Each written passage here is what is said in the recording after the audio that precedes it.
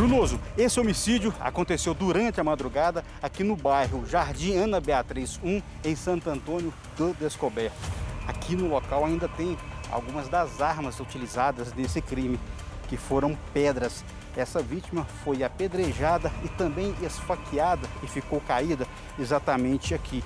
Colocaram areia, mas ainda é possível ver marcas de sangue. Por volta das duas horas da manhã, moradores aqui da quadra 34 e também 33 ouviram alguns gritos de socorro. Já cerca de duas horas depois, um morador saindo para o trabalho encontrou o corpo da vítima caído nesse local. Foi aí que a polícia foi acionada e identificou esse homem como sendo Mike, de 28 anos. Então nós deslocamos ao local, nós demos início ali aos primeiros levantamentos investigativos, né? É, aparentemente a vítima do sexo masculino, 28, 28 anos de idade, é, apresentava algumas lesões né, no crânio, na região da face, causada provavelmente por pedras, né? É, bem como é, golpes de faca né, na região das costas e no pescoço. Segundo informações de moradores, Mike morava numa rua próxima de onde ele foi morto.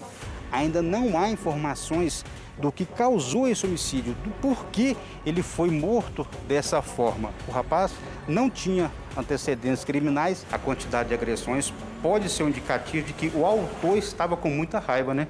Sim, pela multiplicidade das lesões ali que nós verificamos, né? É, pode ter ocorrido algum desentendimento anterior, né? e motivado aí por bastante né, ódio, raiva, é, o autor pode ter desferido esses golpes, né? Um ou mais autores, né? Nós ainda estamos levantando as informações, é, não há nada ainda, não há indicação, né, é, dos autores de quem tenha sido de quem tenha sido os autores, né?